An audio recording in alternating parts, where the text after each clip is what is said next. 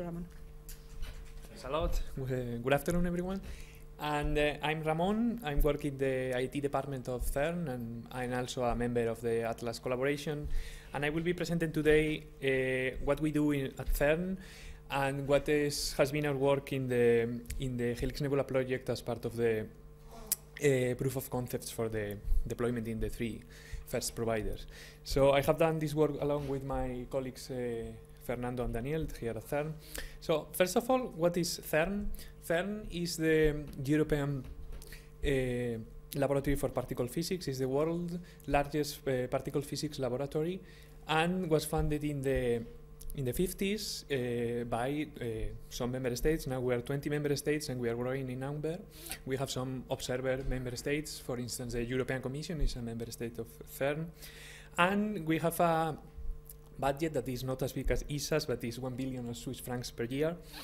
And our, use, uh, our user base is like uh, 2,400 st staff members. They are in Geneva on site. We have as well like uh, around a, thou a, thousand associates, students, and people that are for some time in the in the uh, in Geneva. And then globally, we have like 10,000 uh, 10, users that they are using our computing facilities doing uh, physics analysis and general research. So what we what is the business that we have there at CERN? That is uh, one of the most important questions and that uh, the human being has even asked that is understanding the universe. I mean, understanding what we are made of and which is the components of the matter and anything that one can think of. In particular, of all the history of the universe, we are particularly excited about the first second about of the Big Bang and what happened there. So Athern uh, was founded in the, in the 50s and uh, there have been some achievement, achievement that we have uh, accomplished in the history. That is, for instance, the first accelerator that we built in the 50s. In the 80s, we discovered some of the new particles like the W and Z bosons. And in 89 was a nice year for CERN. The really big accelerator was the Large Electron Positron Collider started operating in the tunnel that is now uh, hosting uh, the LHC. And the World Wide Web, as we know today, was invented by Tim Berners-Lee. Uh, that then lived to fund the World Wide Web Consortium. In 92, the Atlas collaboration was uh, funded to design and to set the goals for the Atlas detector at the LHC. In 2004, some antimatter was captured, and finally, in 2008, the LHC started running until this year, this past year actually, when the uh, in the 4th of July was the biggest uh, event in science that I have remembered after the human being in the moon.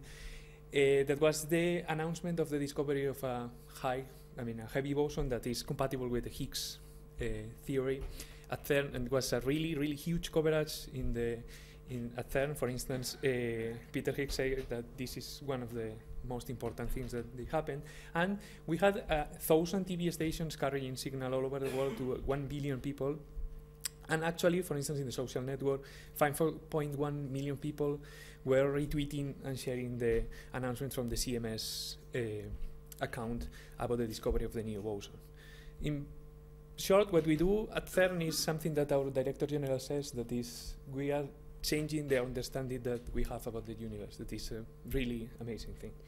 So to discover all of this stuff that is actually the more the smallest particles and the smallest things in the world, you paradoxically you have to build the biggest machines in the world, that is the LHC. This is a picture from the Atlas detector. You can see that is a five-floor house in 100 meters down in the in the in Geneva and that is part of the complex of accelerators in CERN that we have the LHC with the four important detectors that they are CMS, Atlas, ALICE, and LHCb, apart from other smaller detectors that they are doing a great job as well. So the, these detectors, in short, they work like a digital camera, but they are just huge. So when you collide some particles that they are going around the LHC, you get these kind of things. That is a picture of a collision of two protons here and physicists say that this is an event of a Higgs production. So how you pass from this nice detector to this picture, you need a lot of computing, and you need uh, really big data computing. In particular, in um, for the LHC in the 90s was the first big data appliance, and it needed the grid to be actually deployed in a grid scale. So this is the what is called the worldwide LHC computing grid that is, uh, was defined in the 90s as a complete hierarchical system in which we have the tier zero that is CERN where the, where the machine is running and where all the data is received and then uh, received from the detector and then uh, distributed across all the tier ones. There are all regional data centers that we have around the world. For instance, there is one in Italy, there is one in Spain, and so on. These uh, tier one, they are the head of the regional computing for each of the areas, each of the countries, if you, if you want, in which there are some other smaller uh, facilities like tier twos and tier threes, which can be, for instance, some research uh, groups and etc. This is the hierarchical model that was defined originally, but now this is evolving to a complete mesh connecting all tiers two with tier three and so on. And it's where the cloud can take a really nice place because we can just place the cloud in any other uh, any of the, these facilities quite easily and quite nice. So in particular, going for the Helix Nebula deployment that we made in the T-Systems, Atos, and Cloud Sigma uh, in the spring and summer this year, we have made something like this. That is, we have components and they are in the cloud, that they are the pink ones, they are inside the cloud actually, and we have the, the blue components that they are at CERN. So we have the, our Panda is the name of the, of the distributed computing system that we use. So the physicists submit jobs there, it's a, um, batch systems. And then we have uh, just clusters deployed in the three providers with a dispatcher at CERN when is sending jobs to each of the to each of the providers of the giant network. In the providers, we have uh, for this proof of concepts uh, simple uh, deployment that is we are just going to do computing that is for simulation. There are jobs, for instance, that they will run for six hours processing like 30 megabytes of data and so on. So we have a lot of worker nodes that they are burning CPU cycles, and one monitoring node that allows us to know how the infrastructure is performing and what the infrastructure of the provider is, is providing us. And then we get from CERN both the software and the input and output data from the some distributed file system that we have. So after that, the, the, the results that we have, they are, I think, very positive. And uh, as a summary, I would say that we have run uh, simulation jobs only. There is another type of workload that we have that is analysis that is very high intensive in input output from both disk and the network that there is something that we want to definitely try in the in the pilot phase that will start this year.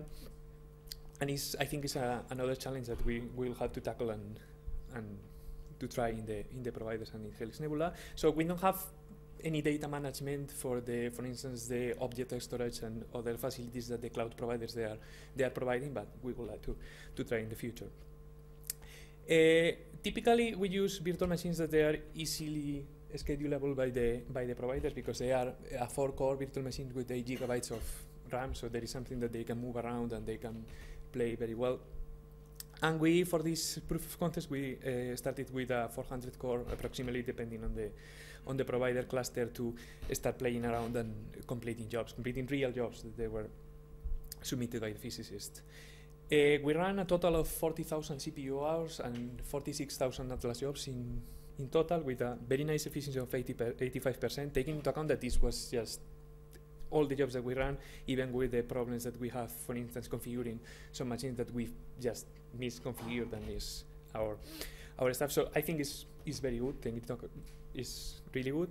And then some other pictures that depict the, the integration of the cloud resources in our workload, workload management systems is, for instance, this one. This is the monitoring that we have deployed, Ganglia, in, the, in this particular case in T-Systems, where we know how the machines are running.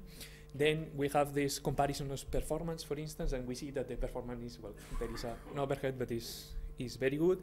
And for instance, finally, this is a picture that is showing Panda, our workload management system, showing the jobs that they are running, in this case, in Atos that is exactly the same as uh, other grid site. It's completely transparent, this, uh, the assignment of, of, load and the submitting jobs to these, to these data centers, and they are running fine, and everything is, is under control in an easy way. So just to finish, with some conclusions and the future work that we would like to, to do in the in the next pilot is that the, the proof of concept that we have run in the three provi providers has been successful, very successful in my opinion. The major conclusion is that the, the cloud resources that the, the, private companies they are providing to Europe, these fit really well into the new model of all connected for the physics computing. All the providers integrated it very well in the in our workflow, and the support was really really good. I have to I have to say, and the processing in the cloud is just works. You just spin up machines, you just start processing jobs, and they run. Uh, as a future word, I would say that we have to study the use of standard APIs and protocols. That is where the blue box uh, starts uh, taking place. I would like to, to go ahead and deal with data management. I mean, just processing jobs that they take, for instance, 25 gigabytes of input. I mean, what are we going to do? We're going to move data to the providers. We're going to read it over the network. There is something we have to try and check what is the performance in any case. And finally, uh, I would like also to extend the, the workflow to the to all the scientific chains. I mean, to be able to do all the types of uh, physics processing in the cloud. For instance, the analysis that I was mentioning, apart from the simulation jobs. And uh, that's that's all I have. And if you have any any questions, I will be happy to.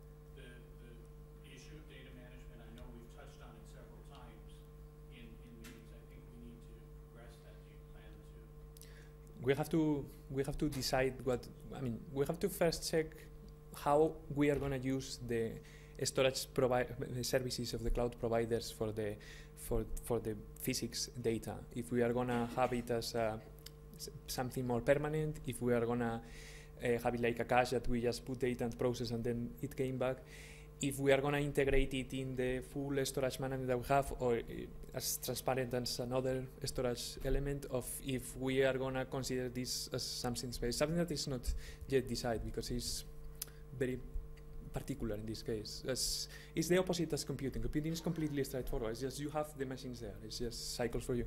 But storage is, and then you have to consider, for instance, the data preservation. If you set up something permanent in a, in a commercial provider, which is something that are you going to leave the data 15 years there, or is something just yet to yet to discuss. But I would like uh, actually, and my colleagues at CERN also would like to discuss before the pilot starts to really have a perfect plan to, to deploy.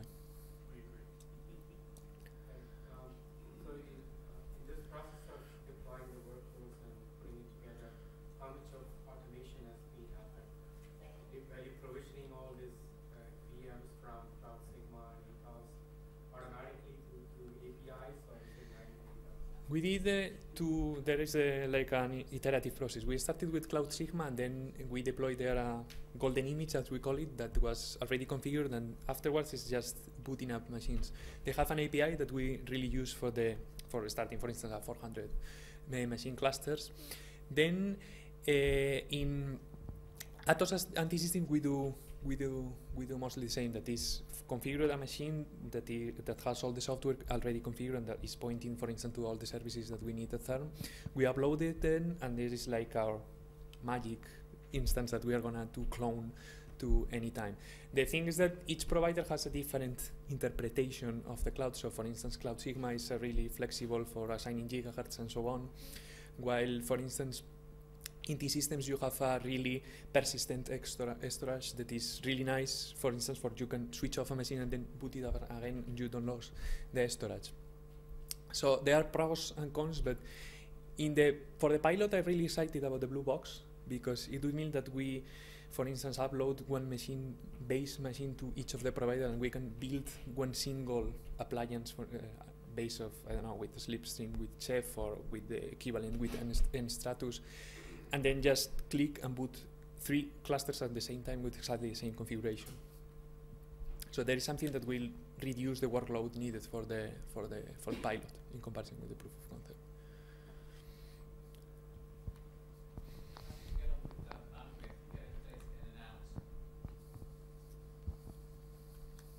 Sorry, can you repeat? How did you manage with the bandwidth, getting data in and out? Was that an issue or did it work really well? For the for the simulation, it's not an issue because we have an input and output over the network of about, about 50 megabytes per job. So it's something that you can easily overkey and you can download in one second. For the analysis, there we can do two things. That is, uh, the input is like 25 gigabytes, 20 gigabytes, depending on, on the job you are, you are processing. So it's not it's a lot in comparison with the with the simulation. So you can read over the network with vector reads and something like that.